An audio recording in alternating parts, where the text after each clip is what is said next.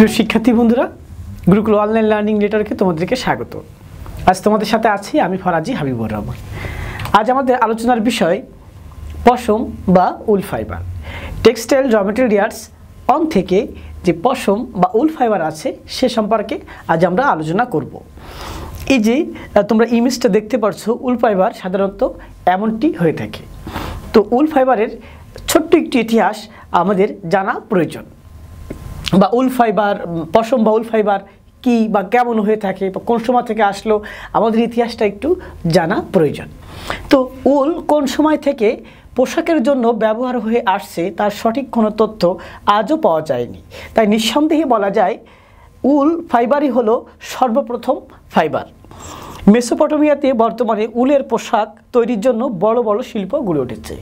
অর্থাৎ যেহেতু কোন সময় থেকে নির্দিষ্ট কোনো সময় পাওয়া যায়নি যে উল কাপড়ের জন্য বা পোশাকের জন্য অমুক সময় থেকে ব্যবহার হয়ে হয়ে আসছে, তার জন্যই বলা যায় উল হচ্ছে প্রথম পোশাকের জন্য ব্যবহৃত কোনো ফাইবার।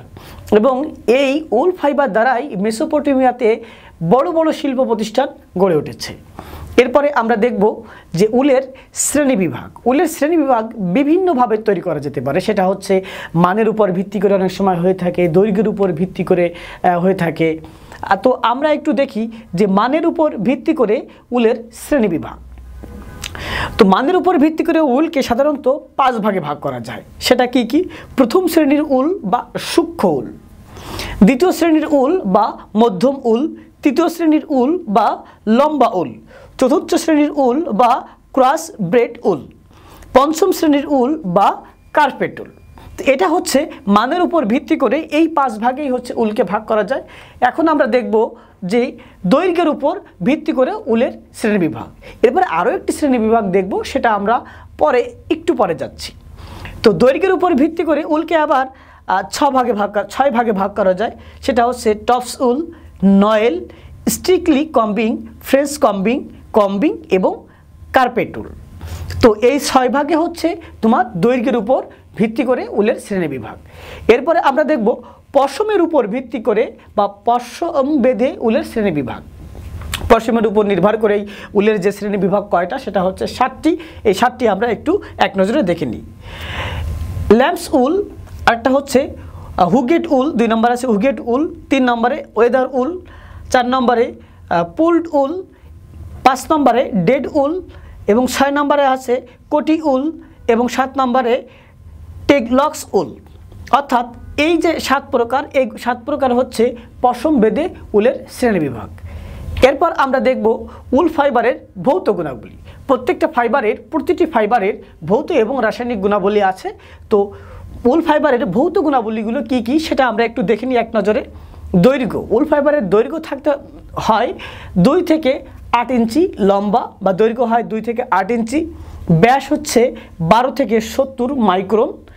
শক্তি এক থেকে দুই গ্রাম পার ডেনিয়ার। ইলাস্টিসিটি পঁচিশ থেকে তিরিশ পারসেন্ট।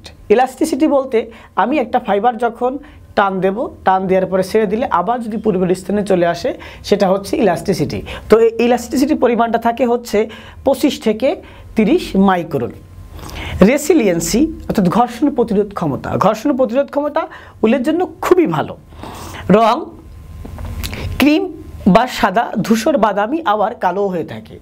রং সাধারণত ক্রিম বা সাদা হয়ে থাকে, আবার ধূসর বাদামিও হয়, কোনো কোনো ক্ষেত্রে আবার কালোও হয়ে থাকে। তাপ প্রতিরোধক তাপ প্রতিরোধক ভালো না। উল যদি অধিক পরিমাণ তাপ পায়, তাহলে এটা নষ্ট হয়ে যায়।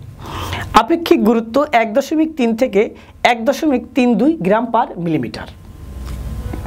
এরপর আমরা দেখব উল ফাইবারের রাসায়নিক গুণাবলী।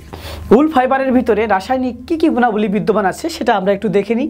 প্রথমেই আসি ব্লিসে ক্রিয়া ব্লিচে ক্ষতি হয়। অর্থাৎ উল যদি ব্লিচ করা হয়, তাহলে কিন্তু উল ফাইবার নষ্ট হয়ে যায়। এরপর আছে অ্যালকালিতে ক্রিয়া। শক্তিশালী অ্যালকালিতে ক্ষতি হয়। অর্থাৎ উল শক্তিশালী অ্যালকালি দ্বারা যদি মানে ক্রিয়াকরণ, প্রক্রিয়াকরণ করা হয়, তাহলে সেটা ক্ষতিগ্রস্ত হয়। কিন্তু দুর্বল দুর্বল অ্যালকালি দিয়ে যদি উলকে প্রক্রিয়াকরণ করা হয় বা দুর্বল অ্যালকালি দিয়ে যদি উলকে ধোয়া হয়, পরিষ্কার করা হয়, তাহলে কিন্তু ক্ষতি হয় না। এরপর আমরা একটু দেখব অ্যাসিডে ক্রিয়া অ্যাসিডে ক্রিয়া কেমন? দুর্বল অ্যাসিডে ক্ষতি হয় না, কিন্তু শক্তিশালী অ্যাসিডে উল কিন্তু ক্ষতিগ্রস্ত হয়। অর্থাৎ দুর্বল অ্যাসিডে উলের তেমন কোনো ক্ষতি হয় না, কিন্তু শক্তিশালী অ্যাসিডে অবশ্যই উলের ক্ষতি হয়। জৈবিক দ্রাবক, প্রতিরোধ ক্ষমতা ভালো। জৈবিক দ্রাবকের প্রতি প্রতিরোধ ক্ষমতা উলের খুবই ভালো। আলোর প্রতিরোধ ক্ষমতা, সূর্যের আলোতে ক্ষতি হয়। উল যদি সূর্যের আলোতে রাখা হয়, তাহলে উল ক্ষতিগ্রস্ত হয়। রং করার ক্ষমতা। উলের রং করার ক্ষমতা খুবই ভালো। কীটপতঙ্গের প্রতিরোধ ক্ষমতা প্রতিরোধ ক্ষমতা ভালো নয়, কারণ এটা কীটপতঙ্গ দ্বারা আক্রান্ত হয়। দাগ প্রতিরোধ ক্ষমতা ভালো। উলের দাগ প্রতিরোধ ক্ষমতা যথেষ্ট ভালো। দাহ্য আচরণ। আস্তে আস্তে পুড়ে ছোট কুণ্ডলির মতো হয়। অর্থাৎ উল যখন পুড়ে যায়, তখন আস্তে আস্তে পুড়ে সেটা কুণ্ডলির মতো আকার ধারণ করে। এখন আমরা দেখব উল ফাইবারের ব্যবহার। উল ফাইবার আমরা কোন কোন ক্ষেত্রে, কি কি ক্ষেত্রে ব্যবহার করে থাকি, সেটা একটু আমরা দেখে নিই। নিটেড অ্যাপারেল তৈরি ও নিটেড অ্যাপারেল তৈরি ও ব্যবহার খুবই সুবিধাজনক। অর্থাৎ নিটেড এবং অ্যাপারেল তৈরির কাজে এটা ব্যবহার করা হয় এবং এর ব্যবহার খুবই সুবিধাজনক। শুটিং ওভারকোট সোয়েটার ও গরম কাপড় তৈরিতে ব্যবহার করা হয়। শুটিংয়ের কাজে এবং স্যুট যেটা আছে সেটার কাজে ওভারকোট এটার কাজে তারপরে হচ্ছে সোয়েটার ও গরম কাপড়ের জন্য আমরা কিন্তু উল ফাইবার ব্যবহার করে থাকি। কার্পেট, ছোটো গালিচা, পশমের মোটা চাদর তৈরিতেও ব্যবহার করা হয়। কার্পেট তারপরে হচ্ছে ছোটো গালিচা পশমের মোটা চাদর, গরম কাপড় এগুলো তৈরিতেও আমরা ব্যবহার করে থাকি। কম্বল, হোশিয়ারি কাপড়, নরম পশমি কাপড় বাড়িতে ব্যবহারের জন্য বিভিন্ন ফার্নিশিং কাপড় তৈরিতেও আমরা ব্যবহার করে থাকি। তো আজ আমরা আলোচনা করলাম উল ফাইবার। উল ফাইবারের বিস্তারিত আলোচনা করা হলো এই ক্লাসে। আশা করি তোমরা আমাদের এই উল ফাইবার সম্বন্ধে বুঝতে পেরেছ।